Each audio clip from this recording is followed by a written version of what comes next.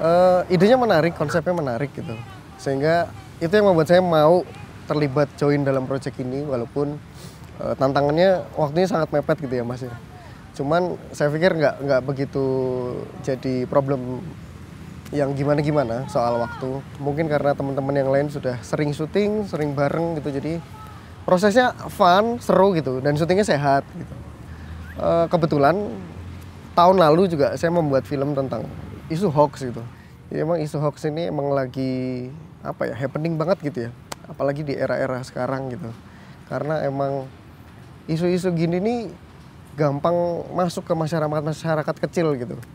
Apalagi target paling uh, empuknya itu ibu-ibu sebenarnya. Dengan adanya film series ini mungkin uh, bisa mengedukasi juga ke banyak orang gitu buat harus lebih ngefilter informasi yang masuk ke ke diri kita masing-masing gitu. Jadi sumber informasi apa pun yang kita terima itu harus bener-bener di filter dicari sumber yang valid kayak gitu.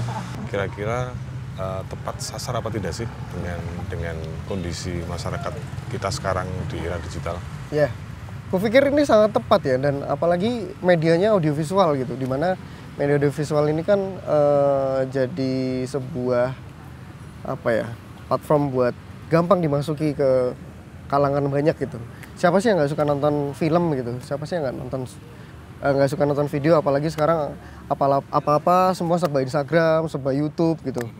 Dan ya ini menurut saya sih bisa sangat cepat gitu diterima sama masyarakat karena daripada membaca orang tuh lebih suka menonton gitu jadi ini efektif banget menurut saya ada pesan tersendiri nggak untuk uh, masyarakat kita yang juga mungkin uh, pemain di industri kreatif untuk punya langkah konkret, punya konsep atau gagasan kreatif uh, dalam menanggapi info hoax ini.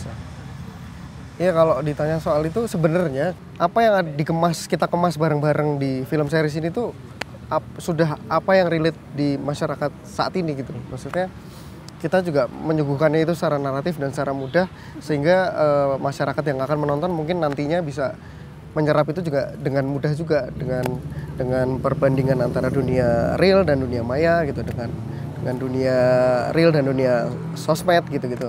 Yang mana uh, orang-orang ini kan sudah terbiasa dan sehari-hari mereka seperti itu gitu.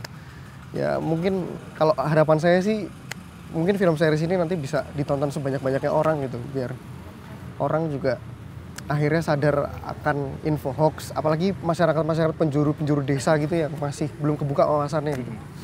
Harapannya sih kayak gitu dan uh, pesannya kalau buat siapa ya halayak umum dan yang ramai gitu menanggapi tentang hoax intinya sekarang kalau dapat informasi apa pun itu tuh harus di cross check dan harus di apa ya diperbandingkan dulu mana mana sumber informasinya mana yang valid dan segala macamnya perlu filterisasi yang ya kita juga harus open mind juga nggak bisa saklek juga.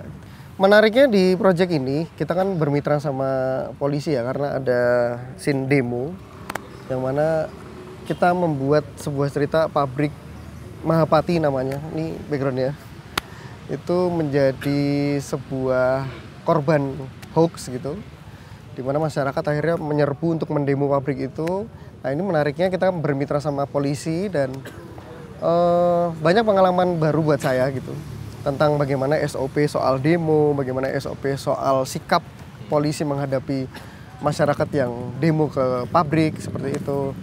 Dan masih banyak hal gitu. Tadi sempat ngobrol-ngobrol sama Pak polisi juga. Kayak yang kita sempat ngulang T karena memang posisinya salah itu lucu juga gitu ya sikap-sikap seperti itu yang menjadi wawasan baru buat saya. Yang ke depan nanti mungkin saya ketika membuat film lagi atau membuat apa pun itu yang ranahnya kreatif bisa lebih uh, jadi koreksi atau wawasan baru buat saya.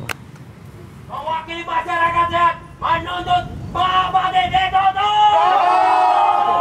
Saya AKP Sultanuddin SHMH dan Ki Dalmas Dit Samapta Polda DIY dengan ini mengucapkan terima kasih kepada rekan-rekan dari Mavindo atas kerjasamanya dalam pembuatan film anti hoax. Semoga ke depan kerjasama ini masih berlangsung dan sama-sama memberantas hoax yang ada di Indonesia. Stop Hoax Indonesia! Terima kasih Mas, uh, Mas